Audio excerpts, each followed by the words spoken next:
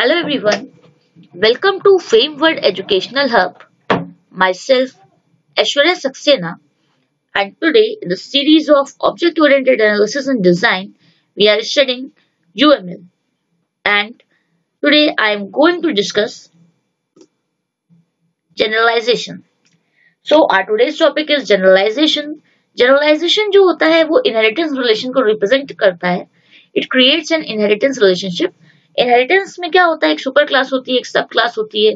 Super class जो होती है, उसे हम पेरेंट क्लास कहते हैं, या super class is also known as the base class and the sub class is known as a child class और the derived class so inheritance relationship जो होता है, वो आपको सुपर क्लास और सब क्लास के बीच में रिलेशनशिप डिफाइन करता है। जनरलाइजेशन जो कि ऑब्जेक्ट ओरिएंटेड में आपका यही सेम कॉन्सेप्ट दिखाता है कि किस तरीके से हम मॉडलरिटी डिफाइन कर सकते हैं। एक डायग्राम के थ्रू और उसमें जनरलाइजेशन कैसे दिखा सकते हैं? तो ये एक इज़ अ रिलेशनशिप जो कि इनहेरिटेंस की रिलेशनशिप है उसे होल्ड करता है और जनरलाइजेशन को हम इस एरो के सिंबल के साथ रिप्रेजेंट करते हैं। तो आइए एक एग्जांपल देखते हैं जनरलाइजेशन का। Here we are having an example of generalization और ये आप देख सकते हैं कि यहाँ पर कुछ लैंग्वेजेस का एग्ज़ाम्पल लिया गया है। तो हम्म, यहाँ पर आपका सी जैसे कि कहा जाता है C is a mother language तो ये बेसिक्स होती है तो कोई भी लैंग्वेज होती है, उसमें वो सारे फीचर्स तो होते ही हैं जो सी लैंग्वेज में होते हैं।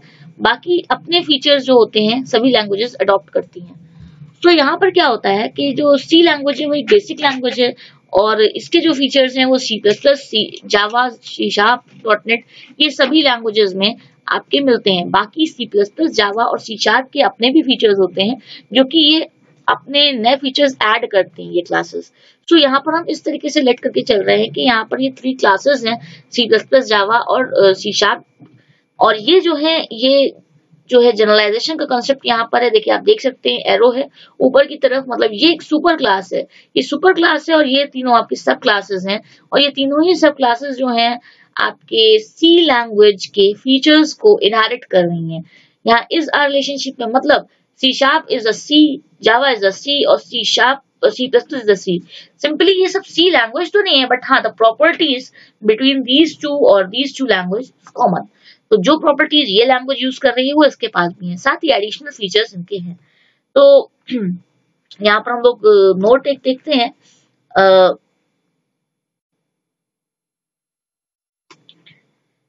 नोट ये है आपका के C is a superclass and C++ Java and C Sharp is a subclass of the superclass. जैसे कि मैंने कहा कि यहाँ पर जो आपकी C लैंग्वेज है वो एक सुपर क्लास है C Sharp, C++ और Java.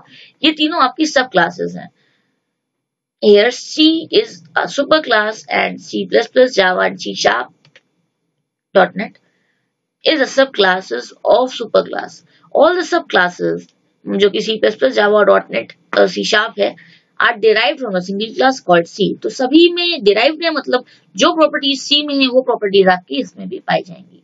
तो ये एक एग्ज़ाम्पल था, एक सिंपल एग्ज़ाम्पल था जनरलाइजेशन का जो आप देख सकते हैं, यहाँ एरो है। तो ये एरो ऊपर की तरफ़ आपका लगाया जाता है और ये नीचे की तरफ़ पॉइंट इस तरीके से कर रहा होता है। तो जो हेड होता है, इसका सुपर क्लास की तरफ़ होता है, जो टेल होती है, वो आपकी सब क्लासेस को पॉइंट कर रही होती है। एक और एग्ज़ाम्पल है हमारे पास यहाँ जनरलाइजेशन का, जिसको हम देख सकते हैं। एग्ज़ाम्पल टू व्हीकल यहाँ पर व्हीकल लिया गया है और व्हीकल जो है आपकी, यहाँ पर सुपर क्लास है। व्हीकल क्लास की सब क्लासेस हैं बाइक कार और बस जैसे कि हम सब जानते हैं कि बाइक कार और बस तीनों ही आपकी व्हीकल होती है। So these are the sub classes because कोई भी व्हीकल की जो भी प्रॉपर्टीज़ होंगी, ये तीनों ही उनको होल्ड करती होंगी। साथ ही साथ बाइक की कार की और बस की अपनी कुछ डिफरेंट डिस्टिंग प्रॉपर्टीज़ होंगी। आपस में, लेकिन the common properties are there vehicle और बाइक के बीच में प्रॉपर्टीज़ कॉमन है. एज व्हीकल भी एक ट्रांसपोर्टेशन मीडियम है और बाइक भी, ऐसी कार और बस भी. So the common properties are there between the super class and the sub class as the sub class और we can say the derive the child class inherit the properties of the super class तो यहाँ पर आप generalisation देख सकते हैं कि ये आपका हेड जो है, ये सुपर क्लास की तरफ़ है और the tail is there towards the sub class so आप इसका एक्सप्लेनेशन देखते हैं ये। यहाँ पर।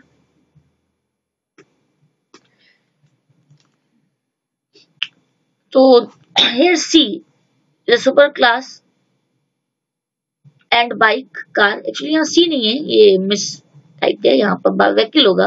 Vehicle is the super class bike car and bus is sub the super class vehicle super class है और बाइक कार और बस आपकी सब क्लास है।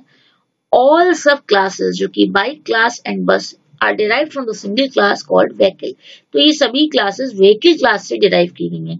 तो डेरिवेशन मतलब का यही डेरिवेशन का यही मतलब है कि इनकी जो प्रॉपर्टीज़ हैं, वो कॉमन है व्हीकल के साथ। और एडिशनल प्रॉपर्टीज़ ये होल्ड कर सकती हैं। तो ये जनरलाइजेशन का कॉन्सेप्ट था। आई होप आपको ये कॉन्सेप्ट समझ में आया होगा। अगर आपको जनरलाइजेशन के कॉन्सेप्ट में कहीं पर कोई कंफ्यूजन है देन आप प्लीज़ अपनी क्वेरी को कमेंट बॉक्स में ड्रॉप करें। और आप इस वीडियो को अपने फ्रेंड्स के साथ शेयर करें ताकि उनकी भी हेल्प हो सके।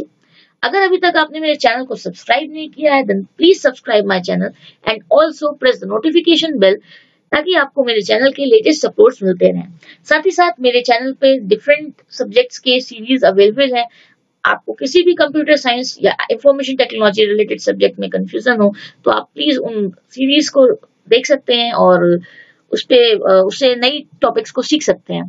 Thanks for watching please like comment share and subscribe